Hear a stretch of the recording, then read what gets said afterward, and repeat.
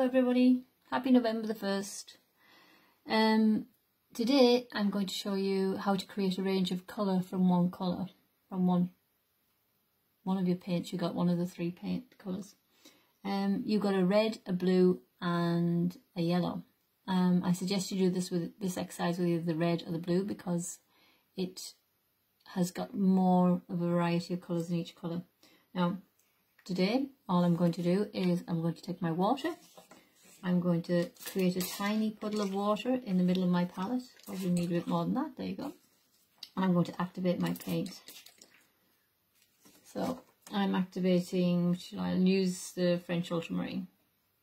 Okay, so I have my little puddle in the palette. I'm just going to put a little bit of French ultramarine on the tip of my brush and mix it with the water. So I've got a really, really watery mix here. Very pale very watery. So I'm going to take that and I'm going to create a little square. Now, that has come from a really dark paint, but because it's really watery, you get a very light colour. You only, then you don't put your brush back in the water, you just put it, tip it into your paint colour again, mix it with your puddle of water, make sure it's well mixed in. Okay. Now, do another square. You can see already with just two tips of the brush, you've got a change in the colour. So you go back in, collect a little bit more, mix it again with your puddle, and you notice that your puddle is getting darker and darker and it's changing consistency. It's no longer really watery, it's more like a little bit teaish. And you make another square. You can see the variety. Remember not to put your brush back in the water, just put it into the paint. And again, another square.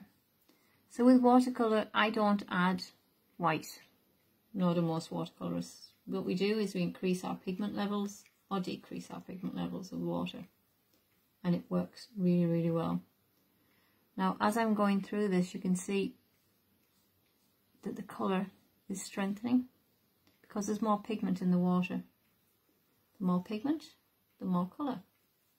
And the thicker, if you could see my palette, this is, it's, you can't see through the palette now. You can't see, it's just lovely and lush and dark.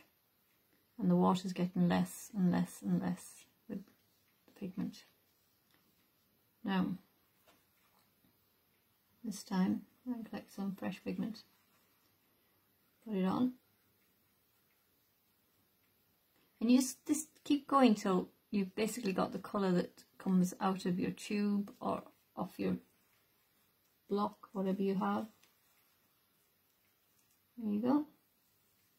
Mix it right through to make sure it goes all the way through.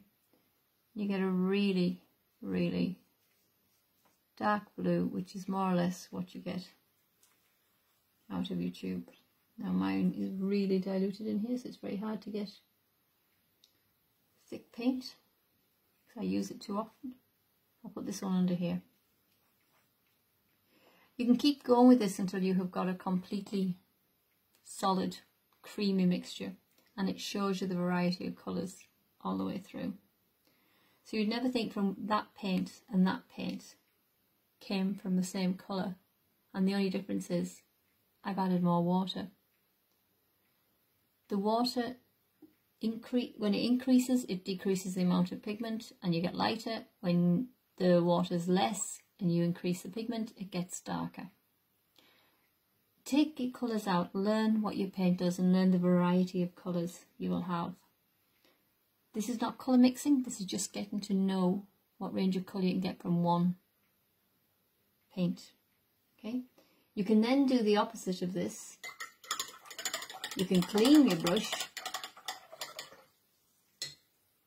Then add a tip of water into it, just off your brush, not by spraying. And you can start to do the opposite. You can work your way across, clean your brush, just the tiniest amount, going back in, mix it up. You're decreasing the pigment with the water.